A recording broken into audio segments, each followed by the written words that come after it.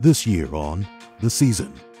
Being a hometown guy, it's a lot of people that support me. I grew up like two, three miles away from the stadium, so Ole Miss has always been part of my life. My mom and dad played basketball in college. My sister's growing up playing basketball now. I tried to play basketball, but football was more my speed. I don't know that he could beat her. I haven't seen him play basketball, but uh, she's pretty dang good. To get to this point to where I am was not easy because nobody else could do it for me. One thing my mama showed me that I always take with you was to never give up. Especially for me and Mike to be the seniors now. I think it's our time to carry the torch. You know, it's our time to get somebody on that defense, that All-American thing next. It would be hard for us ever to have a group of more talented guys in one room, but the best thing as a coach is to see these guys get their degree. Everybody knows how talented he is, but it's the things that they, people don't know about him, how driven he is, you know, coming back from his injury. I think that's what makes him special.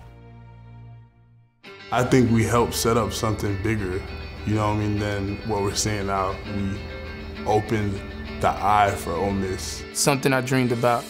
It was happening in less than 24 hours. Growing up in Chicago, it was more good guy, bad guy. Either you're gonna be a good guy and go do something with yourself, or you're gonna be a bad guy. Playing football, it just lets me know that I have to keep going. I have to keep pushing. Just coming to practice every day is a joy. It's, it's, it's a joy to just play football. You know, uh, you know, moms know what's best for you. I mean, I, if it really wasn't for her, I kind of don't know where I'd be today. So, you know, I, I get all the props and praise to my mom.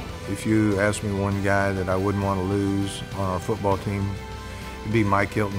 Just to be considered is an honor, and winning this Chucky Mullins Award is a blessing. He blew the whistle, and it was like some crazy noise that hit my ear. I'm like, Coach Freeze, blow it one more time. He blew it. He's like, Can you hear my whistle? It was a very exciting moment, man. It was the best. It was the best moment in my life. At that point, uh, I knew it wasn't just about us making football players as much as it was changing lives.